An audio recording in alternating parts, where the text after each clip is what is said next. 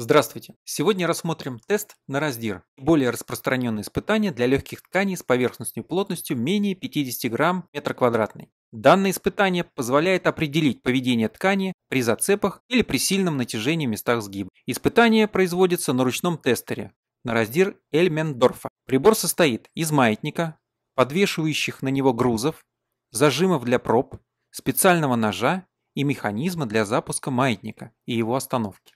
Перед испытанием необходимо откалибровать тестер, чтобы его стрелка всегда останавливалась на отметке 0. Для этого маятник устанавливается в исходное положение до упора. Для испытания по специальному шаблону вырезают пробу. Проба устанавливается в зажимы и надрезается специально закрепленным ножом. Маятник устанавливают в исходное положение. Стрелку переводят в начальное положение и нажимают на механизм спуска маятника. В процессе падения маятник раздирает ткань с определенным усилием, которое фиксируется стрелкой на шкале тестера. Показания со шкалы тестера снимаются в ньютонах.